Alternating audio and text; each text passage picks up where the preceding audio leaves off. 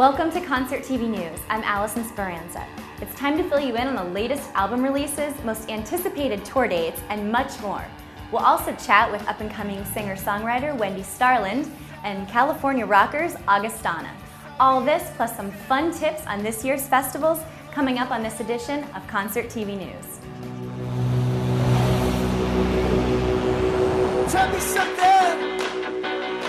Looking for ways to spend your free time this summer?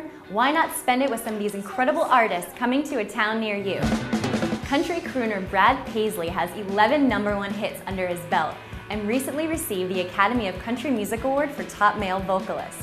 He kicks off the Paisley Party this week in Albuquerque, New Mexico. Speaking of country superstars, Rascal Flatts have sold over 15 million albums in the US alone since their 2000 debut. Their summer tour will take them to amphitheaters across the US and will be packed with plenty of pyro and laser effects.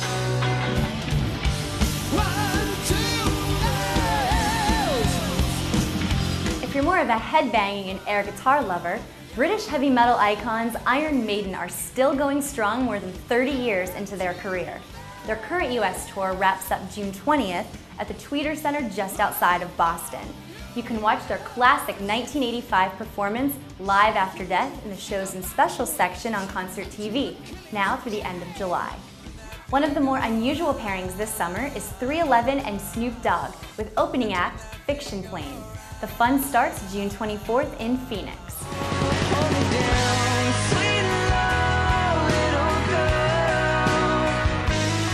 And finally, after touring with everyone from Dashboard Confessional to the Goo Goo Dolls, Augustana is getting ready for the much hyped Maroon 5 Counting Crows trek. They'll join the tour August 28th in Noblesville, Indiana. We got to talk with Augustana about their recent headlining tour and their new album, Can't Love, Can't Hurt. Hold me down, sweet love, little girl. Hold me down, sweet love. I think sometimes it's even more motivating, honestly, to open. Um, because I think when you're headlining, you're kind of preaching to the converted. They, they already know you and they're there and they're at the show. Opening is, is a lot more challenging. And you want to sort of prove that you belong on that stage compared to the, the headliner and that, that you're like worthy of kind of like, you know, wasting their time, I guess.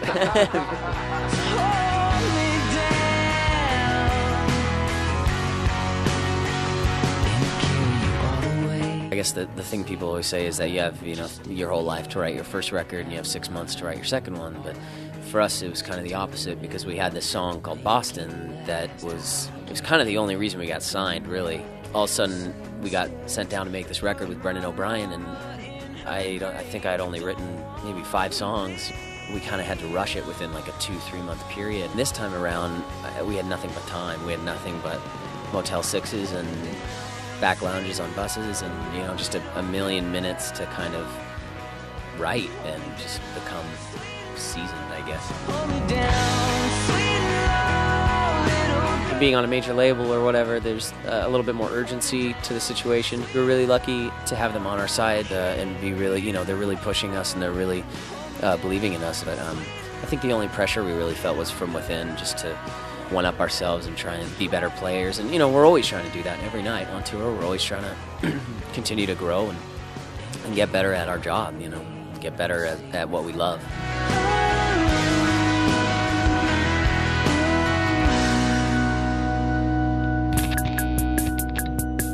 There are a ton of new releases out this week, including one of my personal favorites, The Cure. Their 13th studio album doesn't come out until September, but the band is releasing a new single on the 13th of every month. You can hear their latest single, Freak Show, on June 13th. Hip hop fans have been anxiously waiting for Lil Wayne's new album for three years. Well, the wait is finally over with the release of The Carter 3, which features Wayne's first number one single, Lollipop, as well as collaborations with Kanye, Jay Z, Ludacris, and T Pain.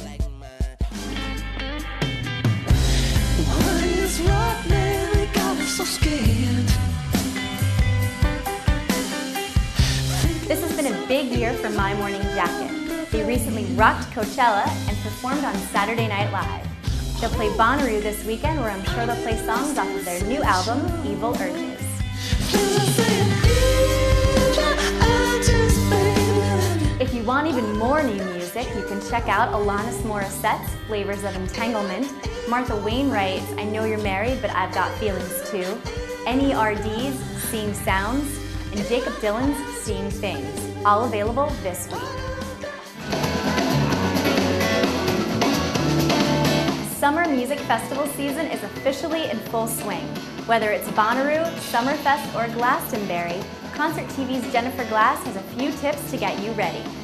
Hey guys, I'm Jennifer Glass, and festival season is upon us. I can feel it.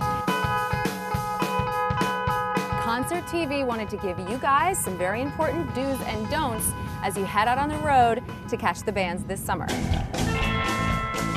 Okay, so camping, do plan ahead. If you're gonna camp out, you might wanna go through a dry run before you get there. And when you get to the site, consider the weather conditions.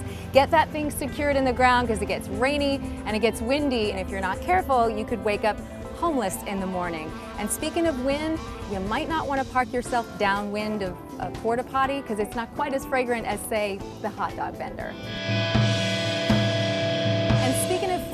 There's always a lot of options at these festivals. Whether you're a vegetarian or a carnivore, you're good, you're going to be covered. Bring lots of cash because it can get pricey at these festivals.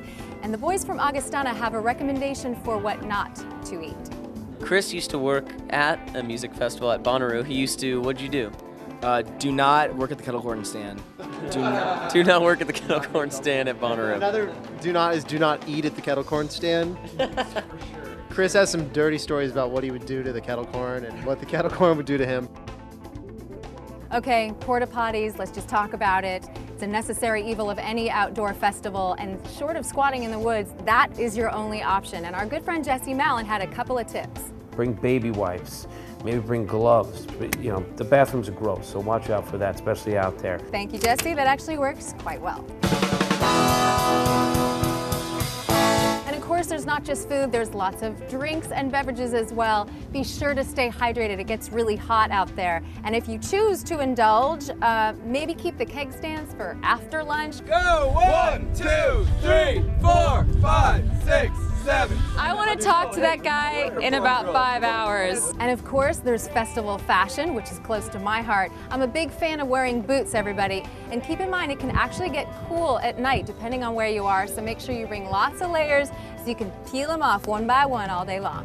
And um, if you're going to get naked, do it with a few cool friends.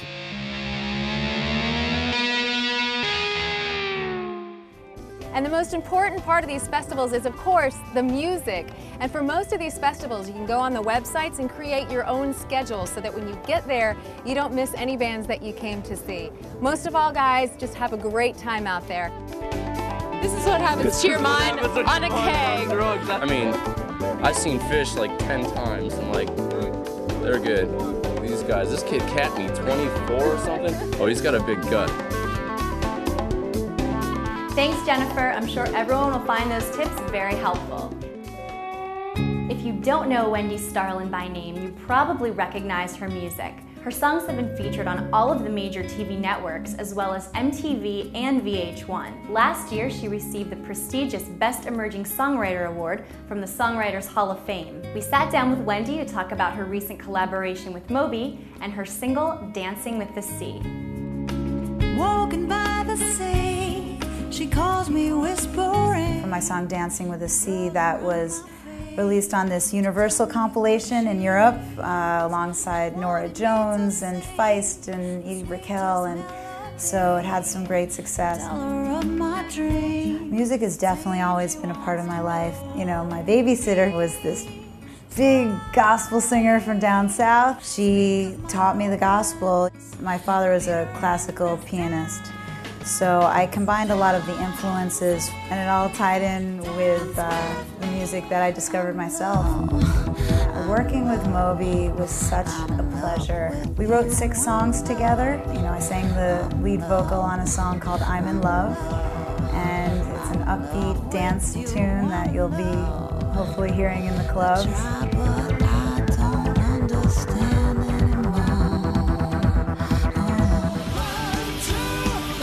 That's it for this edition of Concert TV News. Come back every Monday for a new installment of the latest album releases, tour announcements, and much more.